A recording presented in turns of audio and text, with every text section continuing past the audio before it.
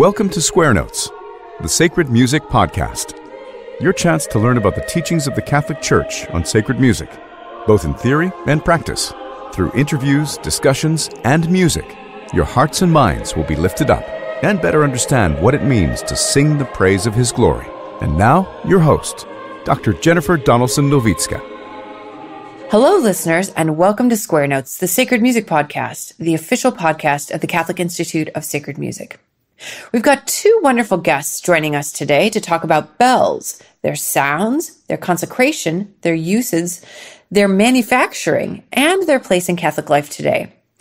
I'm joined by Father Christopher Gray, who is a graduate of the Madeleine Choir School in Salt Lake City and is pastor of St. Mary of the Assumption in Park City, Utah. And our second guest is Carl Scott Zimmerman, a campanologist and author of the extremely helpful website towerbells.org. Father Gray, it's great to have you on here. Thank you so much for joining me today. Thank you. Love it. And so I am going to start off this episode by asking you what are some of your favorite bells you've ever heard and why? There are so many important bells in my life. So I'm very fond of, from childhood, the story about the big bell in the tower in Toledo, which has been cracked for a very long time and is very, very big and has lots of stories about it. It is inserted into my mind as one of those markers from my childhood about the nature of things that there are these things called bells, which are very powerful, that have long range effects and do interesting things. And they can break. And even when they're broken, still have certain of those powers. It's pretty neat.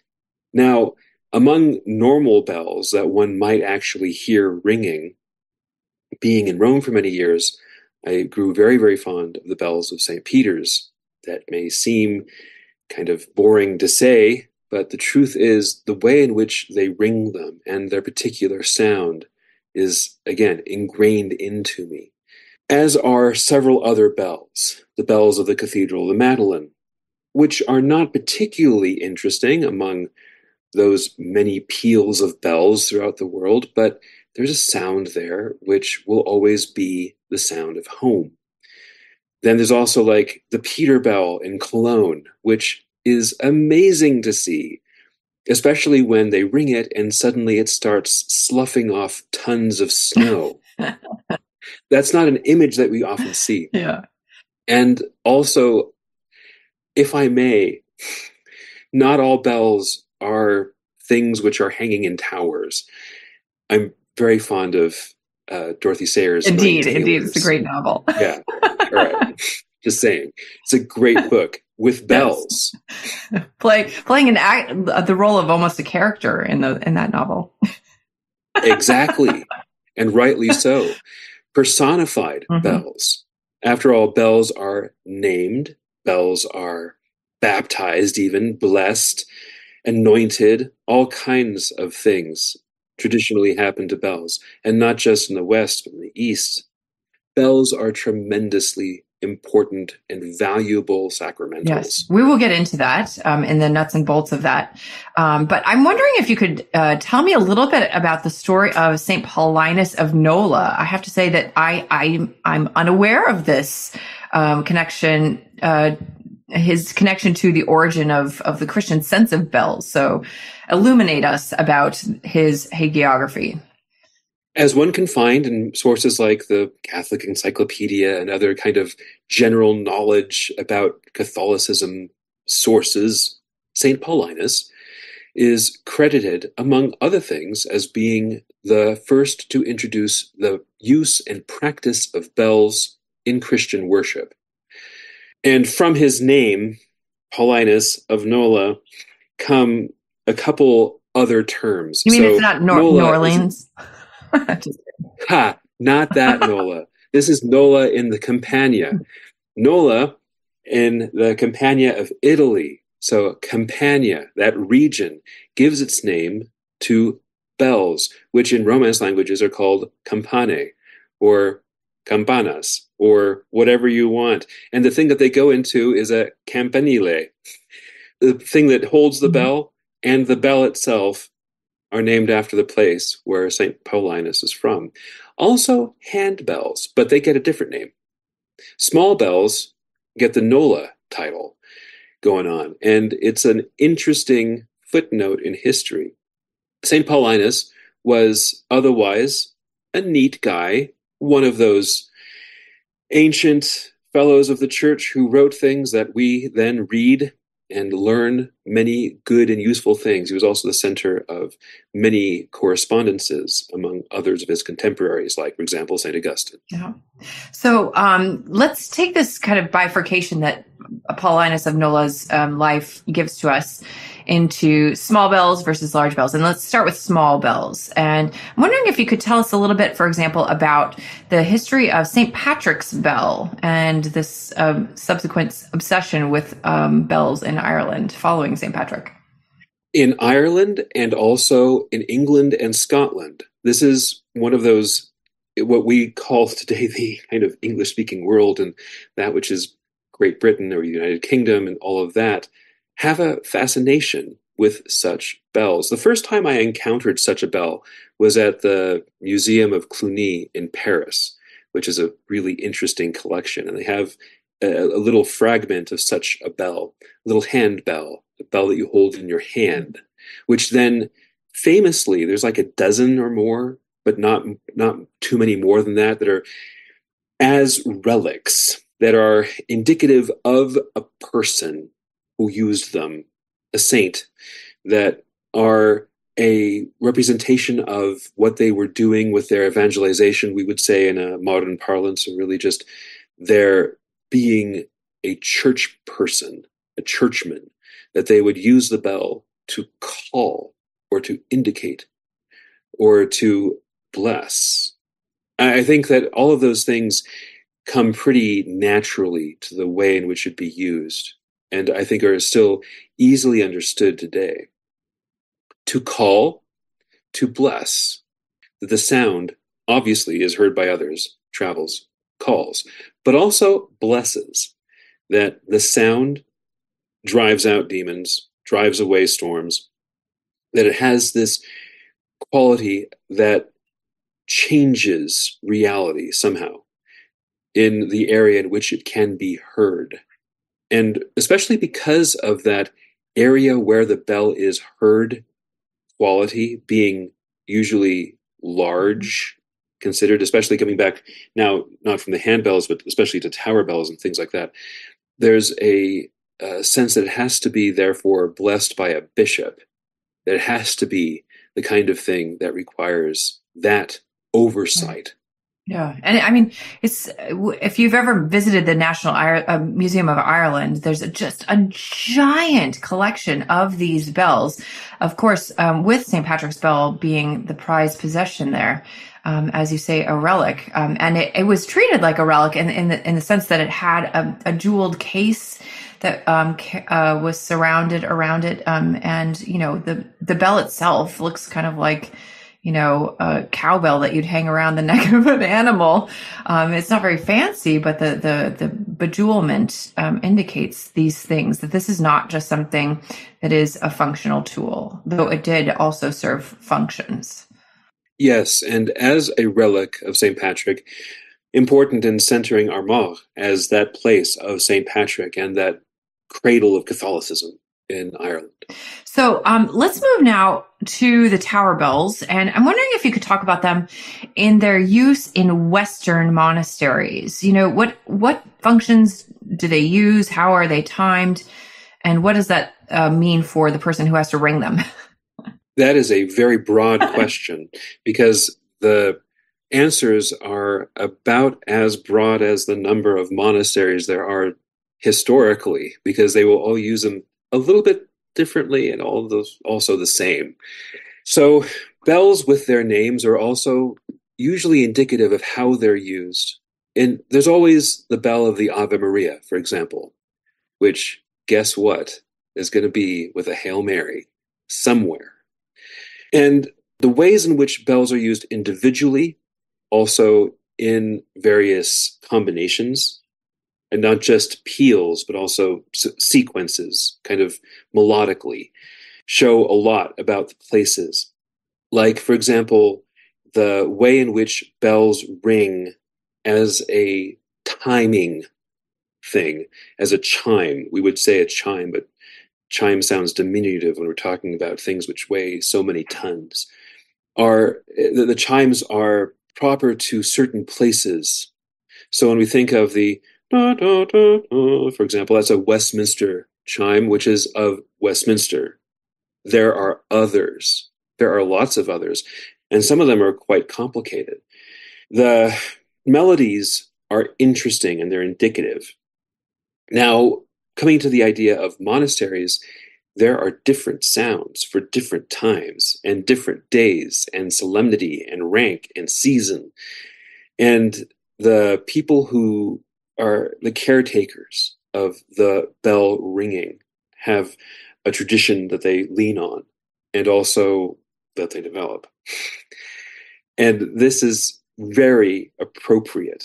I think that this kind of bell ringing, of the various melodies, the choice of bells among a peal, is very helpful for communicating what the bell is doing because fundamentally it's usually office, mass, the functions, the services of the church that it's attached to. And usually, yes, attached to a church is not even so much about the bells of the monastery, but rather of the oratory of the monastery, the chapel, the basilica, the whatever it is. There's also usually bells of the monastery, which are different, that might indicate chapter, that might indicate meals. Usually these things are connected, but not necessarily so. And so the different bells become different signals but also especially as they prepare the way for liturgy to take place or prayer to take place in general, are doing that function of being blessing. That the sound of the bell in all the things that it touches, the buildings, the people, the living fabric of a place, and the infrastructure of wherever it may be, also being blessed and being prepared for the ritual to take place. It almost seems like a participation in the voice of God and the bell ringer in that way cooperating with the voice of God that you know that that bell ringer has to know what time it is and to make sure that he shows up to ring the bells on time. And then really it's a, the, the call to lay aside the labora for the ora or for other things too. I would say that the analogy is even more closely made to an angel who is the messenger of that which is to come. It's not, yes, the voice of God, but also the voice of so many other, of a great chorus of angels and saints who are reminding us of so many yeah, things. That's a beautiful image. So we've been talking about monasteries. Most people don't live in or near a monastery. They live near a parish. So I'm wondering um, if you could tell us a little bit about what you do at your parish with a bell. My church is blessed to have six bells in the tower. They are arranged do, re, mi, fa, sol. Ah, la. a hexachord. it's delightful. and so, for differing seasons, the peal is different. Right now, we're in the time of Lent, and so the peal that one would hear, for example, on Sunday before Mass, is re, fa, sol. But on other parts of the year, for example, after Lent is done, it will be an Easter. That will be do, re, mi, fa, sol, la. it's a lot of fun. use all the bells, use fewer of the bells. Perhaps not the mi and the fa, so you don't have to have that half step clashing. But the way in which the peal is arranged, even, is certainly very much within the realm of someone who perhaps might care about bells to want to tailor to certain things. In my church, on the normal days, the bell that is mi rings for a couple minutes, a few minutes before mass. So the morning mass is at eight o'clock in the morning. At seven fifty-five, the mi rings. Strike, strike, strike, strike. Kind of a faster andante of a, of a Mhm. ring. And then when it comes time for eight for the Mass, that's when I have placed the Angelus. In most places, six o'clock in the morning would perhaps be a little bit too early for the Make Angelus. neighbors upset for it, maybe. Perhaps might be a little bit mean to the neighbors. Here in my place, I have no neighbors. We are in the midst of fields, and I look outside the window and I see lots of snow and mountain. It's lovely. But still, reasonable. Let us actually encourage people to pray legitimately. And so, with a church with people in it, let us silently pray the Angelus as the bells are ringing it, which have the usual Angelus pattern. Like in certain parts of the world, that's different. But in America, pretty standard to have a set of three, another three, another three, and then some other bell that strikes. And that's how our Angelus is as well, which then rings also at noon and also at six in the evening. On any particular day at three o'clock, the highest bell, the La, will ring for a few seconds, about 10 seconds, just for the sake of remembering that hour in which our Lord suffered and gained us our salvation. Right. And then at the end of the day, the lowest bell at eight o'clock in the evening will ring slowly. Rather, it will be struck once every 10 seconds or a minute or so to bring the day to its conclusion. Can I ask you, what are the names of your bells? I don't know. Oh, you don't? How do you not know?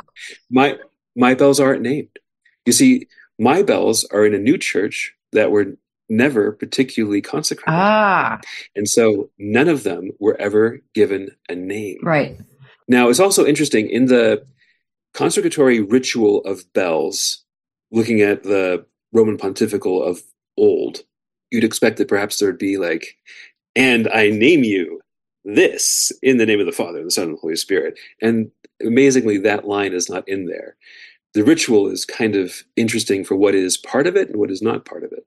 So it has similarities to a baptism, but it's clear that this is for something that is not human, right? Can Can you get into a little bit of the rituale, um, the pontifical ritual? Yes.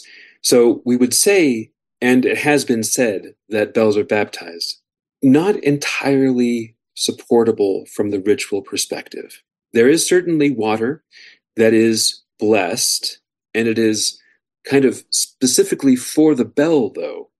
And so that's where it kind of becomes a little bit different from the other things that one might bless with water or otherwise baptize, but yet also similar.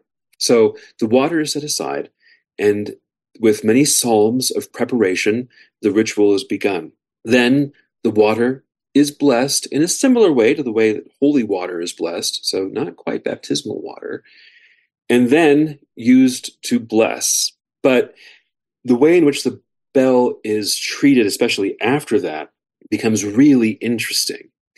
So in the pontifical, the old pontifical, there's this indication that of the substances and things that you should have around, you have to both have thymiama and tus. That is to say, incense and frankincense.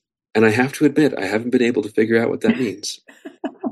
so a thymiama could also be a brazier upon which incense can be burnt.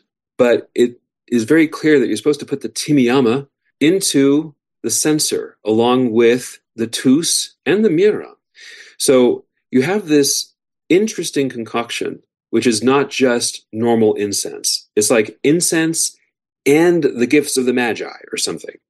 And you put this all into the censer, and the censer comes at a very important moment into the ritual at the end and is meant to fill the bell from underneath such that the smoke goes only into the bell and fills it.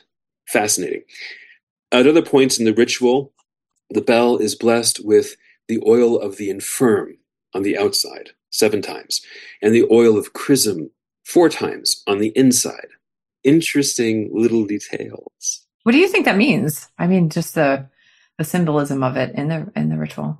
There is a preference given to the inside of the bell. I think that if we consider the way the bell works, and we are talking about tower bells here, specifically bells that ring, that is to say, that they move back and forth and are not simply clocked or struck with a hammer, fixed. That the inside of the bell, where the apparatus will be that will actually do the striking, the striker, the hammer, call it what you will, is going to there make the sound. And there comes the blessing, which is why the inside with chrism and the outside with the oil of the infirm. The outside with its many crosses, seven, kind of for the sake of making whole again what in the course of the world and the passage of time makes old. Of course, the outside of the bell is also where the weather is. So perhaps there's a connection there. But definitely the inside of the bell is where the holy happens. That the inside of the bell, with its chrism and incense blessing in its consecration, is from its origin, has to be the place where the holy happens. You know, so um, one of the things I learned from studying uh, the work of Olivier Messiaen was his fascination with large metallic objects ringing. And I mean, that could be a gong, it could be any number of things, but he also did love bells. And um, in, in a sense, they have a sort of effect on the ear that the halo has on the eye in an image, right? There's a so, sort of aura surrounding um, aura, not not in the the you know Eastern sense of it, but like a, a sort of emanation of the reality of the person outside the the physical body of the of the person showing who that person really is and and the presence of God in them. And and to me there seems to be a corollary with bells here that that you know the big overtones and the, kind of mess of sound that happens surrounding this the sounding of a bell surrounds the this um just instrument playing yes one fundamental but all the other overtones as well but to me the idea goes deeper this notion of sound itself you know when we study say, sacred music we can talk about it as a sacramental and i think you can make a case studying for example what pope pius x says in Tra le sollecitudini about calling sacred music a sort of sacramental but there's a there's a sense here too, a shared sense in which sound itself is a sacramental. Could you speak to that a little bit? Sound is profoundly important, not just to people who are used to listening, but it does absolutely have to do with that which is the sense of holiness. One of the most easily identifiable characteristics of a large room that might be a church is its sound. That it has that particular resonance, that space, that volume. And bells have a similar characteristic, not just because we are formed in a Western sensibility. The idea of that which is holy, especially in that moment when the sound is ringing in the air, after the bell is struck and merely resonating, is I think sublime. And I would also say, yes, not just holy, but easily recognized as such. This is why a good acoustic is so important for sacred music, right?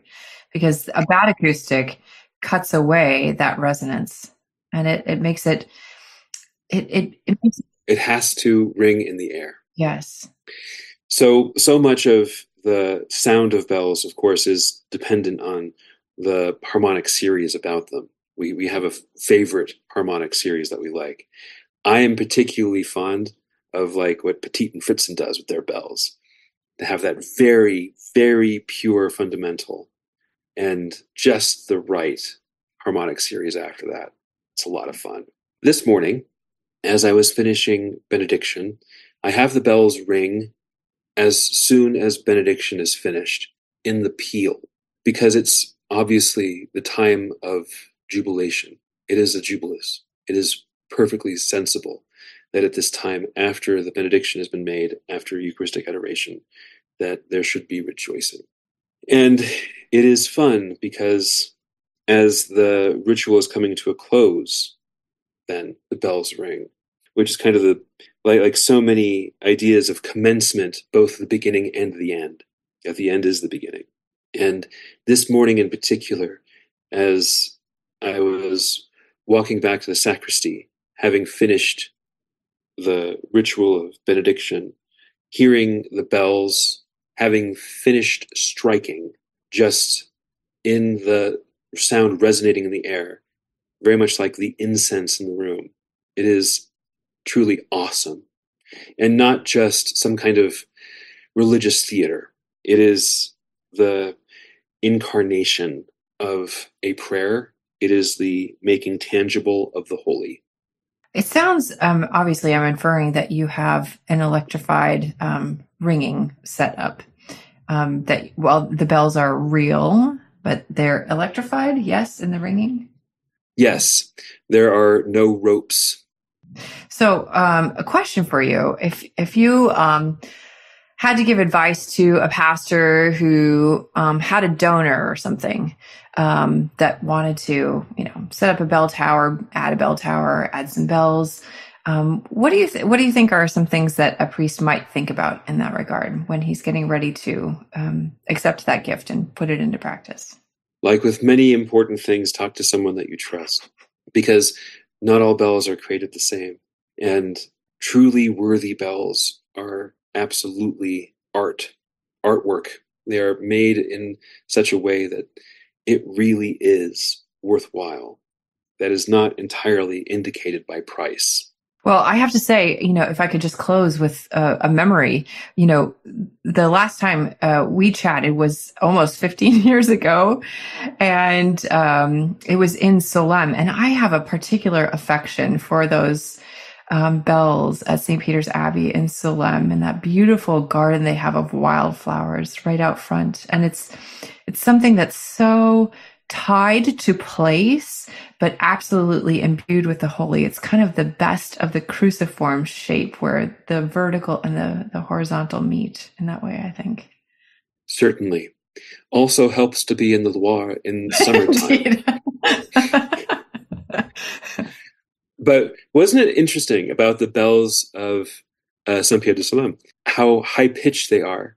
They're, they're, not particularly, as it were, meaty bells. There, there's a lightness to it, which I find to be part of the charm. Like the Solesmes style embodied in a bell. mm. Thank you so much, Father. Yeah, thank you. Obviously, I love talking about this. I'm glad to have given you an opportunity to do so. Yeah, I really appreciate it. If I can touch on that question a second ago, especially about the the folk who sell the bells and who buy the bells and who are the things. Of, recently, I've been talking to one of those bell people, a salesperson whose job it is to sell things, because the clock of my bell will eventually uh, break. It's it's of everything around here is of an age, and it will all you know break soon, I suppose.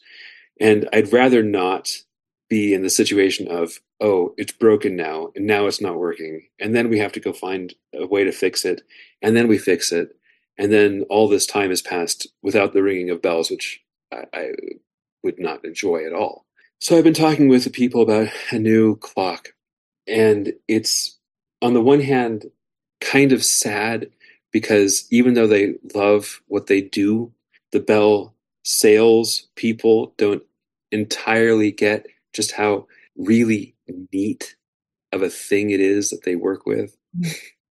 but of course, doesn't that always happen for for people who who work in things that the the shine wears off and the polish somehow becomes tarnished. So it goes. But it is really fun to talk about these kinds of things with people who are interested and excited. Yes. So thank yeah, you. I'm sure our listeners will enjoy it. And now I'm delighted to bring in our second guest for the show, Carl Zimmerman, a true expert in the development of manufacturing techniques of bells and someone who has devoted much of his life to playing and researching bells. Carl, I'm really delighted to meet you and happy to have you on our podcast. Thanks for being here. Well, Jenny, it's a pleasure to be here. I don't often get to talk about bells. Well, I do, but I'm careful about that because, as I say to people, if you press the right button, I can talk all day. we don't have time for that here today.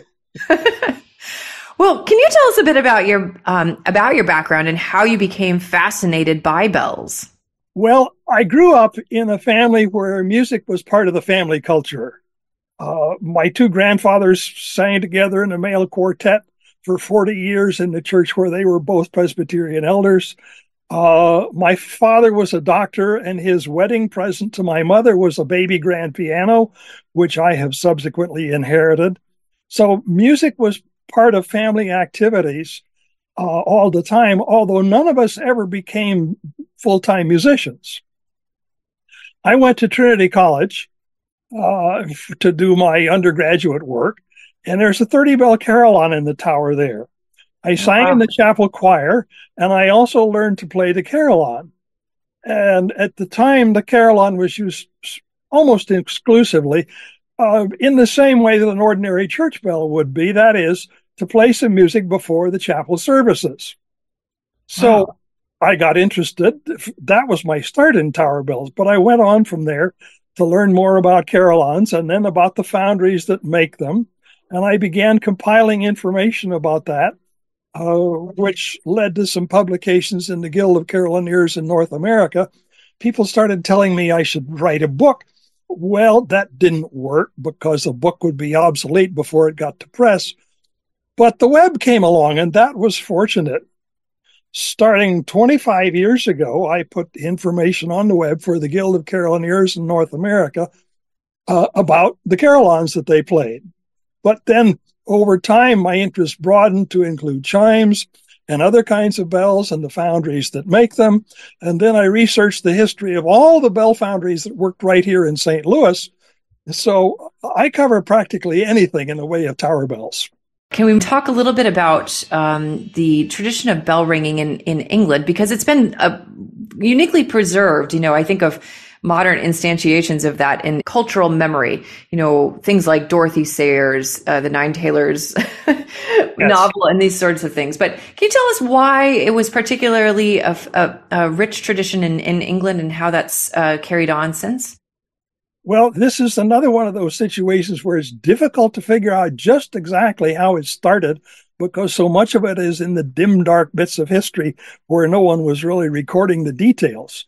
But my view of it is that as churches hung more bells, uh, partly for, for prestige and partly because they were following the monastic traditions of having different bells signaling different functions, somehow there was developed the technology for hanging and swinging the bell in such a way that you had more control over than just the random, random uh, noise that you get from a bell swinging back and forth.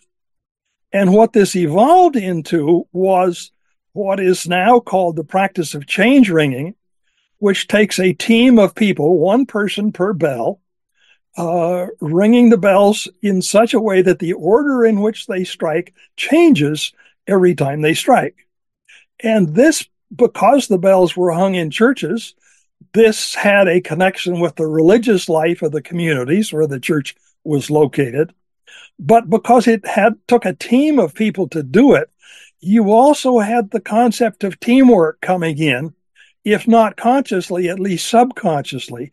This was something that a team of people did together, and it became not only a religious thing, but also a sporting thing in a way.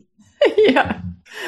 Um, yeah, it seems like the the uh, commitment to a change ringing sort of team often was it was a was a kind of an escape hatch for some uh, people from their you know uh, drudgery of family life that they would get out of the house and go change ringing. Well, this this is true. Uh, and one of the things that often has happened then is that teams of change ringers, after they have practiced or performed, will go off to the nearest pub for a social time Indeed. together. Indeed. Uh, there were times in the past when the social if, aspects of it really um, took over more than the religious aspects did. And so in the 19th century, for example, there was a belfry reform movement from the churchmen wanting to uh, adapt this practice or bring this practice back more in the service of the church than in the service of sport.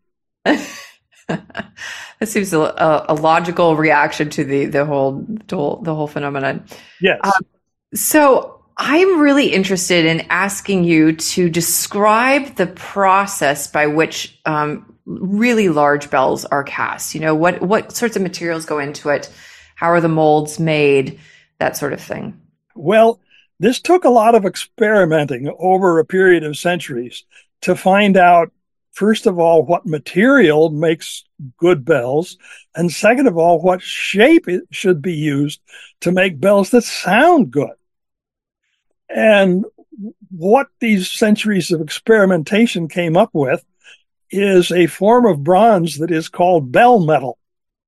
It's approximately 80% copper and 20% tin, although the percentages can vary a few points one way or the other, depending upon what a particular bell founder likes uh, or what the particular needs are. In modern times, there have even been a few cases where a tiny bit of lead is put in to, to keep the bell from resonating too long. That's more for concert instruments than, than tower bells, than church bells. Anyway, uh, the shape of it uh, is important because a bell making its sound is not a simple item like a violin or piano string or the column of air in an organ pipe uh, or a trumpet or a wind, any kind of wind instrument. In all of those things, the, the the shape and size of the instrument itself determines the fundamental pitch that it or frequency of sound that it can produce and then all of the harmonics of that fundamental pitch fall into place automatically as a function of the way God made physics to work in this world of ours. Uh, so you tune uh, a piano tuner, for example, tunes according to the fundamental of a particular note, and all the harmonics fall into place automatically. A tower bell is not a simple shape like that. Uh, it's the shape of it is kind of like a teacup. If you think of a teacup as having a flared lip, nowadays you can drink tea out of all kinds of things. But if you think of uh, fancy dinnerware, the teacups have a flared shape to them. Well, turn one of those upside down and magnify it by a great deal and make it out of brass or bronze. Uh, and it will, when you strike it, it will resonate. Sometimes you can even do this with the lids of, of pots. I, I have a couple of a cast aluminum pot lids that ring like bells if I tap them. Yeah. So, I mean, fundamentally, the, the, the fundamental engineering problem seems to be the fact that the overtones are so prominent.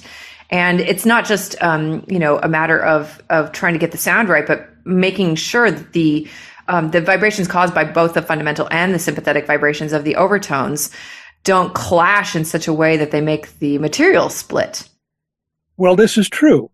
Uh, if you think about uh, going back again to organ pipes and piano strings and so forth, the difference between, say, an oboe and a flute is not what the harmonics are, but in their relative strengths.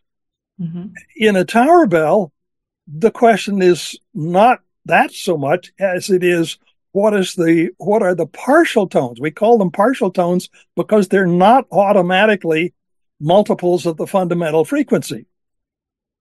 Well, the thing that makes what was eventually discovered over a long period of time was that if you shape the bell in such a way that the strongest partial tone that's not a harmonic is a minor third, then that will sound really nice to the human ear. And discovering how to do that and then how to tune a bell precisely was a, a great step forward in the 16th and 17th century in the Low Countries. Hmm. You know, I think that for a lot of people, when they when they think about um, countries that have particularly excellent bells, um, they might not think of the Low Countries. They might think of, of course, England, which we already discussed, or especially France.